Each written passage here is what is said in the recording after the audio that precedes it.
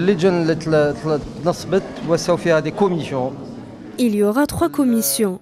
La première sera chargée de la formation, aussi bien au niveau primaire que moyen.